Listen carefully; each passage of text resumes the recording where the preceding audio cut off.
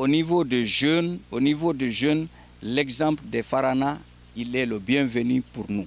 On va attendre qu'eux, ils vont constituer leur équipe. S'il y a politique, politique. Nous, on va attendre qu'ils terminent et on va former une équipe homogène, une équipe dynamique, une équipe intellectuelle pour se présenter. Nous allons tenter notre chance. Donc là, c'est ce qui est au programme. On va attendre qu'eux-mêmes ils présentent. Nous aussi, on a au programme de former une équipe dynamique, une équipe homogène pour se présenter et tenter notre chance. Ce qui reste clair, à part ça, on, se base sur la compétence, sur la valeur intrinsèque des gens. On connaît qui est qui et qui est capable de faire quoi. Donc là, à ce niveau, eh, la population souhaite avoir une équipe homogène au niveau de la commune. Ça. On ne barre pas la route, mais on va, on va les rivaliser.